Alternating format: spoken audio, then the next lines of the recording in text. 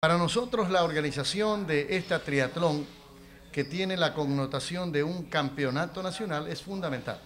Eso nos pone como un lugar estratégico turístico deportivo a nivel de todo el país.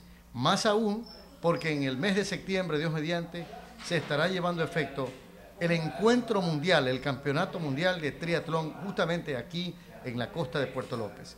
Por eso es fundamental que nosotros, todas las instituciones, el municipio, Ministerio de Turismo, Prefectura y todas las demás instituciones afines podamos estar interesados, estar preparados y apoyar decididamente la realización de esta triatlón.